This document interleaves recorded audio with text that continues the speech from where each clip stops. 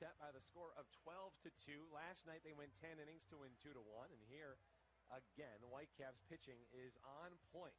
We're in the bottom half of the seventh inning. Alfred Gutierrez has gone seven scoreless.